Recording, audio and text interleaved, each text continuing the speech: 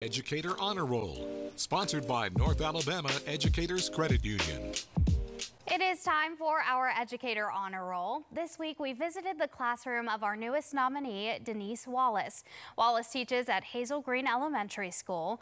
Those who nominated her say she goes above and beyond for her students and that you can truly see the joy and love she has for the job. Take a look.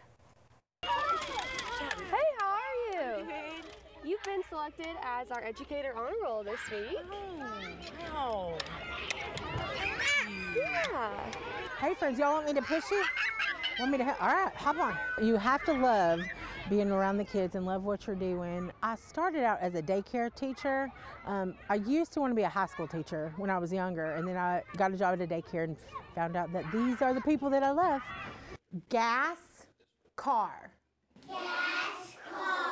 Do they rhyme or not? All right, you said thumbs down, kiss your brain. Those two don't rhyme. Sometimes you get caught up in just the day to day and forget, you know, your joy, but these guys bring me joy every day.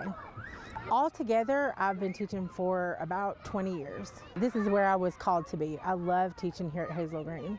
We try to give them like a love of school so that they want to come back and go all the way until they're done.